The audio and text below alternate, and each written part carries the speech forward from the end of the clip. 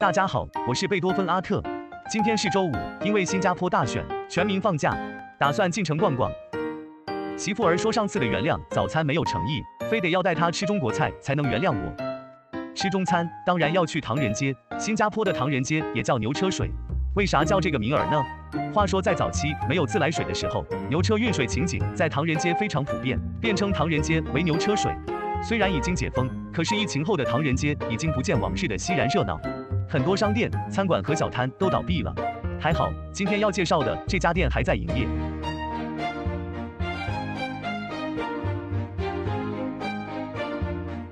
是这一家吗？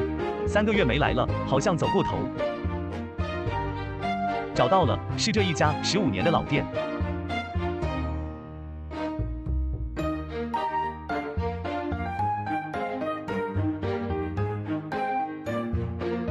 六号桌两位。咦，桌上这是菜单还是武功秘籍？戏太多。他们家有上百道菜，而且三家店都在附近。东北菜、四川菜、烧烤应有尽有。关键的关键是味美价廉，所以我们经常光顾，还不忘介绍给朋友们。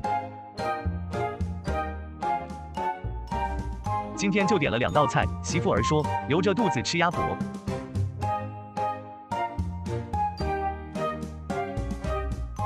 店员都很热情，海南大姐说：“你们点这两道也够吃了，因为他们家菜量大。”这上菜速度真给力，这道是招牌菜锅包肉，十二点八新币，六十四人民币。看这筛，金黄金黄的，整的太有食欲了。酸酸甜甜的菜，媳妇儿都喜欢吃，我有点怕甜。第二道是阿特的最爱，家常鱼头，十七新币，八十五人民币。盘比脸盆大，菜量是相当的足，主要食材就是鱼头，啥鱼头我也分不清。配菜有豆腐、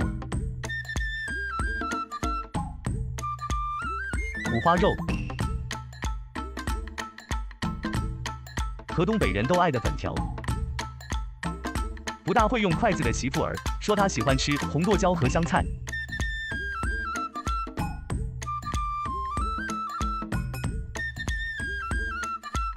好了，我们要开吃了。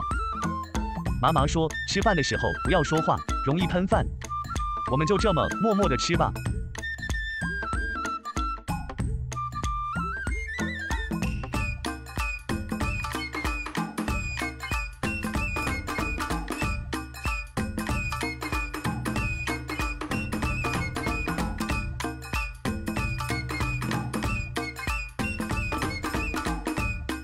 鱼肉太鲜了。A few moments later，终于吃完了，我已经饱了。媳妇儿说还差点，已经催着我去吃鸭脖了。忘了说，店名在这里，好吃不贵，而且不收服务费。好了，今天就是这样，下回见，给个关注吧。我是贝多芬阿特。